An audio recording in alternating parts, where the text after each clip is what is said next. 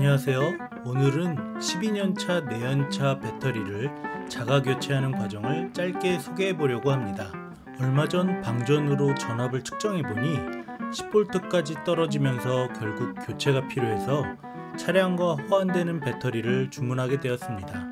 기존 배터리를 제거할 때는 마이너스 단자에서 플러스 단자 순서로 결합을 제거합니다.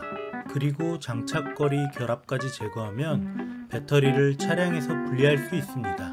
이제 교체할 새 배터리와 외관 부품들을 비교하며 하나씩 옮겨줍니다. 먼저 기존 배터리에 있던 플러스 마이너스 케이블 연결용 어댑터들을 풀어서 새 배터리에 장착합니다.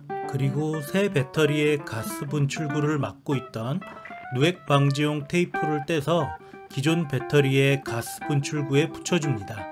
새 배터리를 차량 배터리 박스에 넣어준 뒤 케이블 연결은 분해대와 반대로 플러스 단자부터 마이너스 단자 순서로 결합하고 조임 상태를 꼼꼼하게 점검합니다. 마지막으로 배터리 덮개를 닫고 시험해보니 시동 잘 걸리고 카드키 이용한 원격 잠금 동작도 바로 반응하는 것을 확인했습니다. 이상 내연차지만 좀 더 타기 위한 배터리 자가 교체 과정 소개였습니다.